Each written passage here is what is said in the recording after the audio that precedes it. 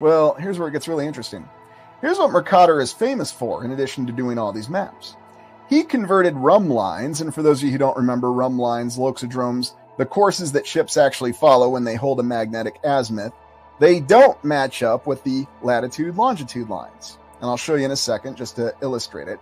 But what Mercator did was he drew maps where all these lines were straight, the rhumb lines, the course lines that the ships actually followed following an azimuth. And here's what you have it. So the rhumb line versus the Great Circle arc.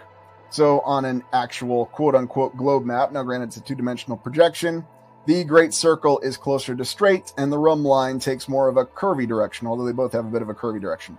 But then on the Mercator projection, when he changes the map, in other words, the size of the squares for the long lines, the rhumb line, the loxodrome, the course the ship follows on an azimuth, is straight. And then the Great Circle art, arc, excuse me, the shortest distance between two points on a globe is now an arc. Oh, how fitting. So, what are the effects of this type of projection? Well, here you can see it in this animation. And you can see that the rhumb line, which is red, and the great circle arc is blue. And so what you're doing is you are distorting the actual map to make one line straight.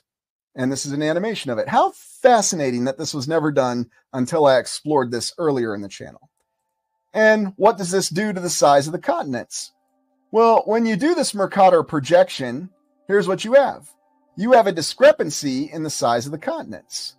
The further north and south you go from the equator, the greater the discrepancy. So, for example, a lot of people don't realize that Africa is much, much larger than we realize as a continent. And places like Russia and Greenland, especially in the northern islands of Canada, they are much smaller. Again, this is the price of imposing this projection of Mercator. So you can actually have straight rhumb lines and loxodromes. And my goodness, look at Antarctica suddenly it becomes relatively small. Well, no wonder Captain Cook missed it, right? I mean, it's still a little larger than Australia, I think, but, uh, you know, he found Australia, but he missed Antarctica. But he did confirm there wasn't a continent down there by missing the continent that was down there. Don't ask me to explain it.